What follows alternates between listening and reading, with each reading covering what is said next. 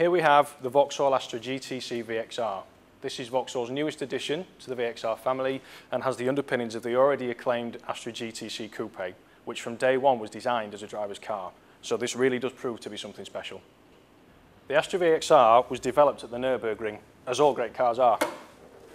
Now the engine involved is a 2 litre petrol turbo packing a huge 280 PS punch, along with 400 newton meters of torque, really does give people a go for their money.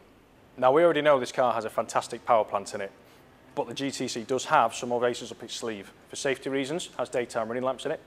Now, unique to this car, and the only one in the Vauxhall range, it has HiPerStrut suspension with a limited front slip differential. Now, this means your cornering is almost perfect for all the power that it's got. It also means you can have these nice 20-inch wheels on, which is something its competitors really struggle with. Included on this particular car also has our aero pack, which means it has the extended side skirts, and finally, the biplane rear spoiler. Now, as with the rest of the VXR family, this car doesn't disappoint on the amount of toys it has inside it. Standard features include air conditioning, electronic parking brake, cruise control, automatic lights and wipers, half leather VXR seating. Now the options list is just as impressive. You can have full leather, you can have electric heated seats, LED daytime running lights. This particular car has our Navi 600 system, which is our satellite navigation with inbuilt Bluetooth. Now one thing this car hasn't lost with being a VXR is the amount of boot space it has in it.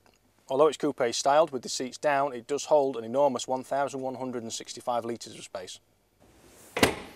Now you don't have to compromise just because you need to sit people in the back.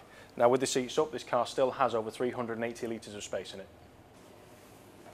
So to conclude, the VXR is built on what was already a fantastic driver's car. It has a pedigree that few can match. It has an armada of options which are competitively priced, so you really can make this car your own.